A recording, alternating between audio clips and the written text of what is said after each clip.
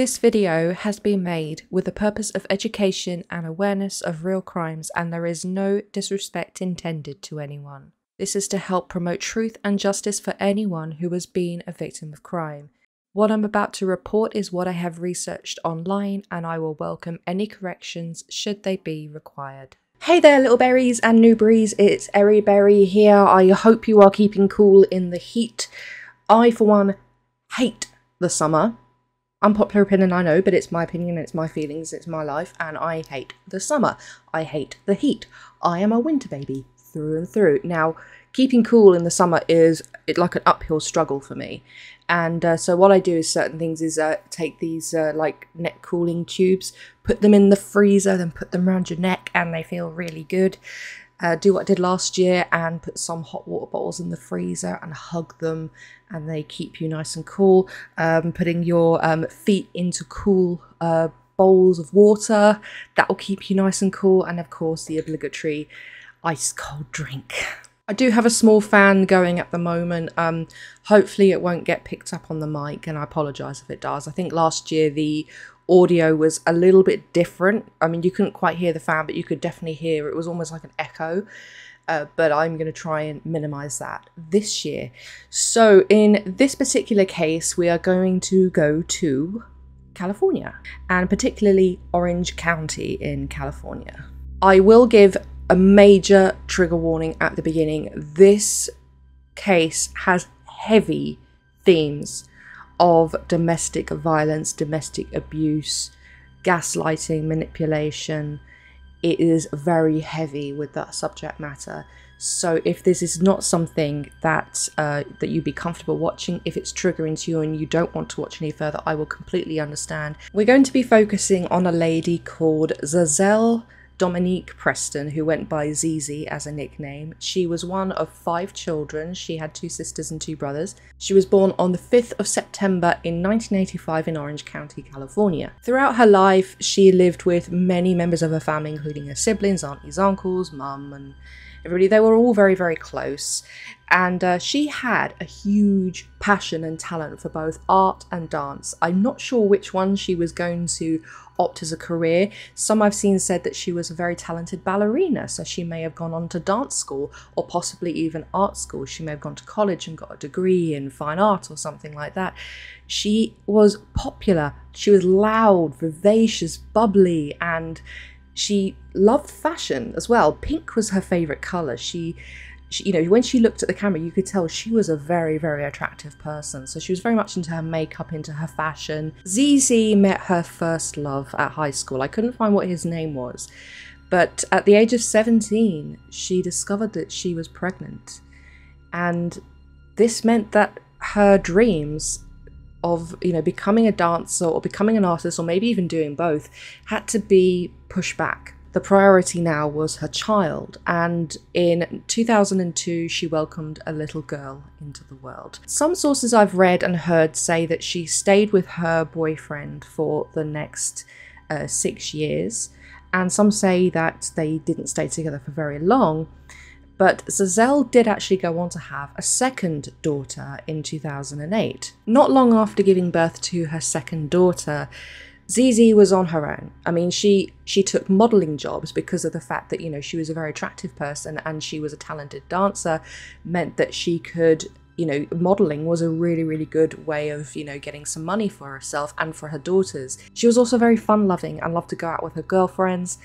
And when she was 23 in 2008, she met and fell in love with 27 year old William Wallace. They fell deeply in love. They fell hard for each other. They were good looking.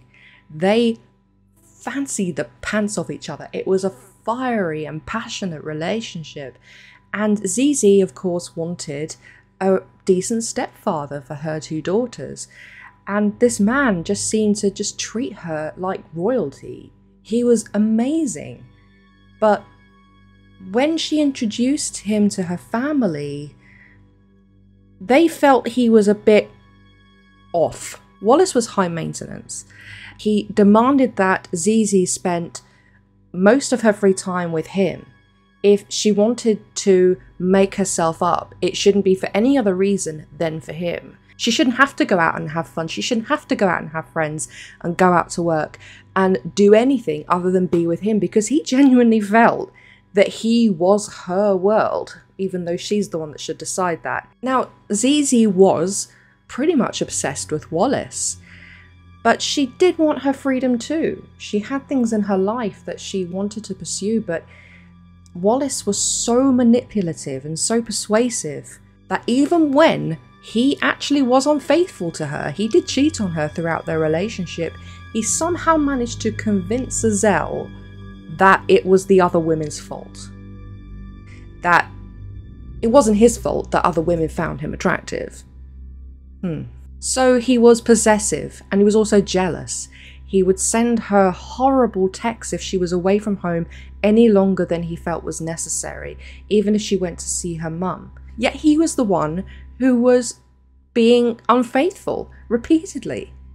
Yet Za'zell brought him back every time. The texts became vitriolic and soon became, you know, fiery verbally, and then it progressed to physical abuse. Wallace beat ZeeZee up several times, and her family tried to persuade ZeeZee to leave him. You know, he, he was no good for her. They didn't like him. He was injuring their daughter. He was he was causing harm to her and therefore her girls. But ZeeZee, she just loved him so much, and after a couple of years together, they actually made it official and got married. Yet, Wallace, he actually beat up his wife at their wedding reception. Really beat her severely. And he didn't just punch and kick her, you know, anywhere in the body, he focused on her head and he caused her to black out. Their altercations became quite well known in their neighbourhood as well. They were living together at this point, the neighbours saw them and heard them arguing a lot, but like a lot of neighbours, they felt it was really none of their business. And even if they did try and intervene, Wallace would just say to them, Look, it's none of your business, keep out of it. Za'zell sometimes went to her neighbours for help, and occasionally she did run out of the house. On one occasion, she was actually found wandering the neighbourhood in a kind of semi concussed state. She'd been punched out by Wallace, and she didn't quite know where she was. ZeeZee's grandmother also reported to have received a phone call from Za'zell when she was cowering in a convenience store bathroom, hiding from Wallace, begging her grandmother to come and get her. These physical fights became so bad that Za'zell had to do something.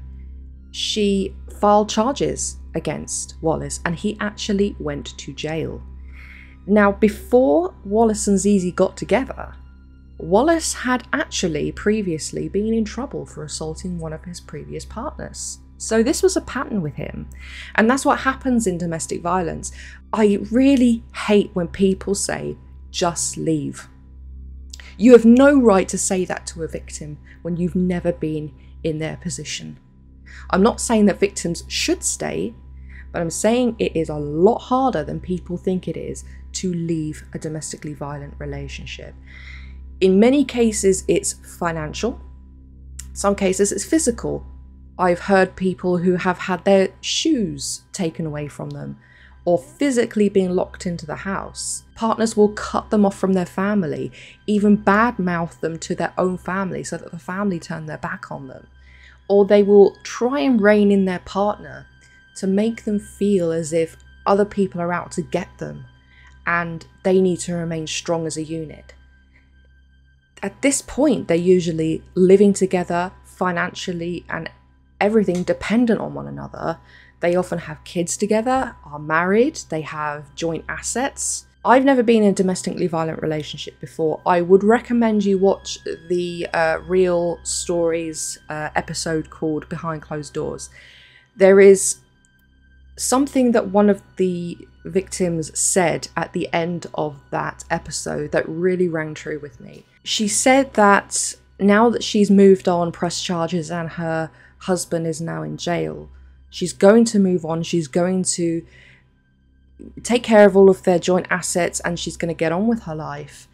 She said the main thing is she now has to mourn and grieve for the man she fell in love with.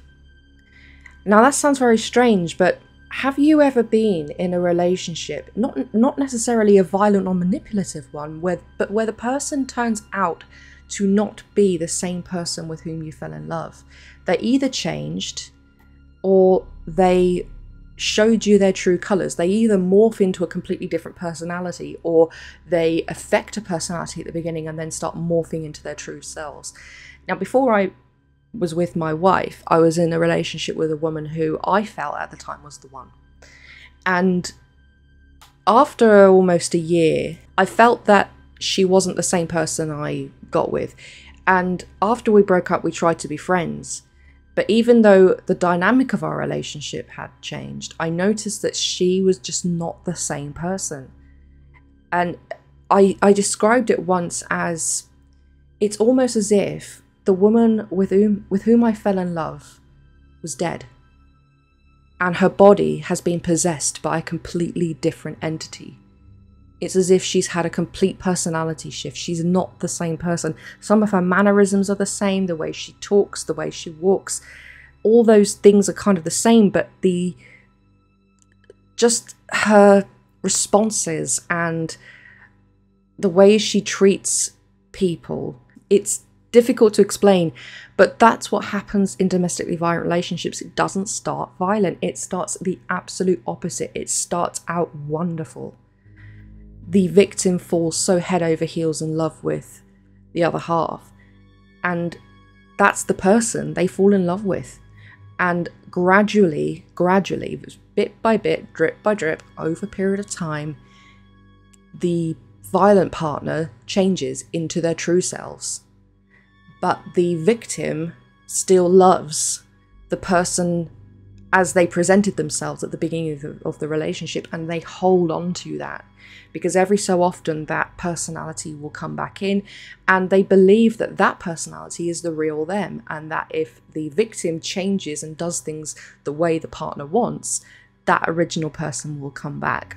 It doesn't happen like that. And it's difficult for people to get their head around that personality you can fall in love with a personality but not necessarily the real person um, if you ever watch the another real stories called um, the girl who became three boys, that's also a very powerful one too, where a girl affected three male personalities and got two of her friends to fall in love with her as those two of those three personalities. And one of them called Jess, she said that in her head and in her heart, the boy who a friend had affected as a personality was real, but she knew also that he wasn't real. And she has to come to the terms of the fact that he's not coming back, he's not real, he never was, but that's difficult to understand. I suppose that's sometimes why people who whose family members, friends, or anyone close to them gets accused and convicted of a heinous crime and they're like, I never ever would have thought they'd done that because people are like mirror balls. They are one ball, but each piece of mirror is a different facet. And sometimes those facets can be obscured. We don't see them, but when we do see them, we deny they're there and we see the brightness rather than the darkness. But either way, uh, we're, we're going into different territory. But this is kind of similar to what Za'zell was feeling about her husband. But as the beginning of 2011 crept round and they got married, he went to jail a couple of times during their relationship. Za'zell found out that she was expecting William's baby. When Wallace was in prison, she did visit him, even though she got a restraining order against him, and he convinced her to drop the restraining order. He got his claws into her again, promising he'd change because he found Jesus. This is really frustrating, particularly for ZeeZee's family, because they genuinely believed that Za'zell was going to be free of this man. That finally he was in jail, there was a restraining order, she could put distance between them, she could divorce him, but when she found out she was pregnant, that would tie them together for life. Yes, you can have a separate relationship to your ex partner, you can both be parents to the kid. However, if one of the partners is violent, I think that that should be a supervised visit at the most but I'm not sure what they were going to do. When Wallace got out of jail, ZeeZee put up a post saying that she couldn't wait to have her sexy ass husband back, and there were pictures that she put of them online, like embracing her, sitting on their on his lap, and another one with them kissing, saying "Lovebirds for life." Now, I don't doubt that she absolutely adored Wallace and wanted to be with him forever, but I think she wanted to be with a man that she believed him to truly be underneath it all. But the violence aside that you know that they could work on that and put the violence to one side. But actually no it was the other way around. The violent side was the real wallace. After several months and don't forget ZeeZee was pregnant at this time wallace didn't change. He continued to beat his pregnant wife. At one point when she was quite heavily pregnant her grandmother found Za'zell curled up in the fetal position outside their home, all bloody from a beating from Wallace. Over the last half of her pregnancy, from around July to October, Za'zell's posts on Facebook became very irregular and inconsistent and sometimes very loving about her husband and some of them were she would say things like god please help me or she even posted that at one point that she wanted to commit suicide and that she wasn't joking. Her family had to jump in and help her. ZeeZee began to confide in several people and she she let them know she wasn't happy that, that, her husband was not showing any sign of change and the fact that she was pregnant and he was beating her still he had no regard for his unborn child either it wasn't good for her children so she decided once and for all that she would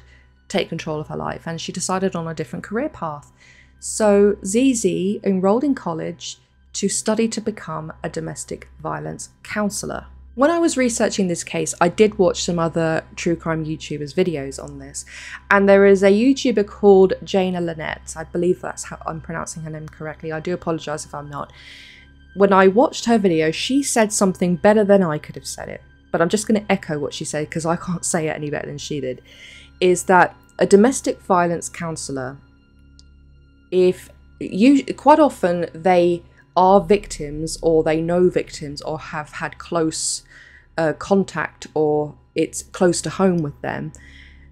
How would you feel if your domestic violence counsellor was still with the violent partner? It's similar to say, for example, a counsellor for drug, alcohol, smoking, gambling, or whatever kind of addiction or or whichever, was still doing drugs or drinking or smoking, even if they're preaching the complete opposite. Za'zell would have been brilliant as a domestic violence counsellor. She had lived it. Her course leader later said that Za'zell was planning to leave her husband, and becoming a domestic violence counsellor was likely her first step on that path, she was going to become an independent person. I don't think Wallace liked that, but she was pregnant and she needed to make sure she could have her baby and be strong enough and eventually leave him. Wallace was such a brute that when Za'zell was seven and a half months pregnant, he punched her pregnant belly, sending her into early labour. She gave birth to a baby boy who was thankfully healthy in the middle of October 2011. Over the next few weeks, Za'zell juggled being a new mother and her coursework. She was studying hard. Wallace wasn't liking it, but Christmas was coming up, and ZeeZee having now, three children, Christmas was meant to be a magical time. So she put up the tree, she wrapped her daughter's presents, and they were aged eight and three at the time. And they would have been very, very excited indeed. On Christmas Eve, um, ZeeZee and Wallace went to a relative's home and they got very drunk. They left the party relatively early, and people at the party said that they seemed to be okay. They hadn't argued or anything. But when they arrived home, they went into a very drunken fight. One of the neighbors reported hearing uh, banging about in the in the house and, and yelling and screaming. And at one point, Wallace went outside and ZeeZee was trying to run away, and he literally dragged her back in. But even that wasn't enough for the neighbours to call the police because this was just a repeat performance of what they'd seen before. The next morning, Christmas morning, Wallace went to his stepdaughters and told them to go into the living room where they began to open up their Christmas presents, and their mother was on the sofa watching them. ZeeZee was wearing sunglasses, which is a bit strange for wintertime and indoors. But when the eight year old asked Wallace what's wrong with Mummy, he said to her, Mummy got drunk and ruined Christmas. Right. The eldest daughter was so excited by the presents she got, whether it was sweets, clothes, toys, whatever. She ran to her mother and went to give her mother a hug, but her mother didn't reciprocate. The girl went on to say that when she hugged her mother, she was very cold and very stiff. She didn't feel right. It was almost like hugging a statue, a cold statue.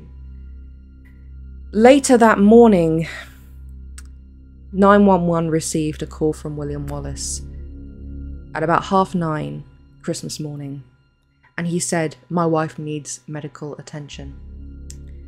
When emergency services arrived, they saw that Za'zell was very clearly deceased. They saw she had a number of injuries on her, several lacerations and blunt force trauma to the head, it seemed to be and she'd been dead for quite some time. William said that the night before, when they got very drunk, Za'zell and he had a back and forth. They were arguing and fighting with each other, and in her drunken state, she fell into a glass table, shattering it. He took her to bed, got the glass out of her, and she went downstairs in the morning and sat on the sofa, put the sunglasses on, probably because she had a headache, but she must have just passed away there on the sofa. No, Za'zell had more than fallen into a glass table. The police could tell that she had received a brutal beating and it was clear that she had been dragged. There were drag marks outside, there were contusions on her legs, which showed the dragging that had taken place.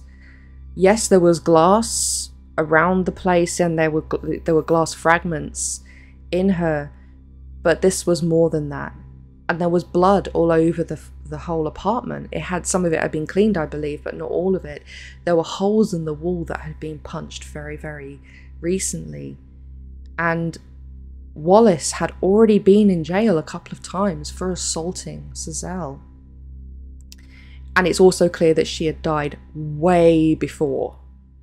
So he had propped up his wife's lifeless, lifeless body after murdering her, put glasses on her, and made her daughters believe that mum was alive and well and looking on but drunk, and blamed her for ruining Christmas. The police didn't believe him, of course. I don't think anybody would. He was arrested. It took nine years, so almost a decade, for this case to go to trial. And Wallace was not allowed out on bail. He spent all this time on remand. There have been much speculation about why it was put forward that many times. Now, this was at the beginning of 2012. And it was in 2011 that the case finally came to court. Personally, I believe one of the reasons for that was because Za'zell's eight year old was now 18 and she could give a full account as to what actually happened that night. And they probably wanted to wait until she was of legal age or at least old enough to be able to articulate and explain, to have gone through the process of having to cope with what happened to her before she actually testified. Maybe the three year old girl could have, but she would have been so young at the time. Za'zell's eldest daughter said that the night that they came home from the New Year's Eve party, her mother and stepfather did have an argument back and forth, and Za'zell did indeed fall onto a coffee table. And Wallace asked his eight year old stepdaughter to help take her mother upstairs to the bathroom and then into the bed to lay her down in the bed. And he asked her to pick the shards of glass out of her wounds.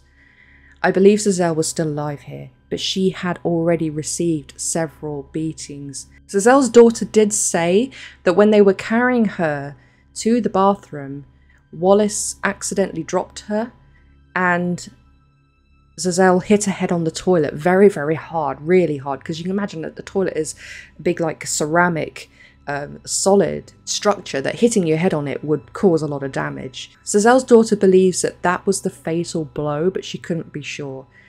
But what is certain is that Wallace knew that his wife's injuries were horrific and he did not call for help. It's not clear as well whether Za'zell fell into the coffee table or was pushed but she did receive a beating from Wallace, which contributed to her death. So, for that reason, Wallace was found guilty of second degree murder. He was sentenced to 15 years to life. He was given credit for the nine years he'd already spent. Now, what annoys me is that he still pled not guilty, even though he clearly was guilty. And his lawyer was saying things like, you're going to hear about a lot of abuse, but there was also a lot of love. And this was not his fault. It was just an accident, no. If someone falls into a coffee table and they get shards of glass on them, you call for emergency services. You don't just pop them in the bed and hope they sleep it off. Doesn't work like that. And if you find that they're deceased in the morning, you don't prop them up on the sofa with sunglasses, making out they're still alive. Seriously, this this guy I hope he never gets out. He's a danger to everybody.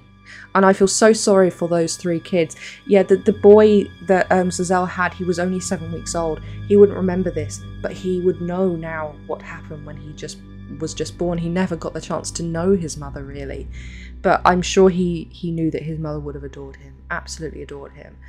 And those two girls, I believe the the girls and uh, the boy were raised by Za'zell's mother after this. But yeah, Za'zell was only 26, and um, I believe she would have made an amazing domestic violence counsellor. And uh, her smile and her lively personality, she reminds me of Marie Joseph, who I covered in a previous uh, case, who was just so bubbly and full of life and uh, loved to sing and dance and and uh, all smiles. And I believe that her kids will definitely be making their mother proud.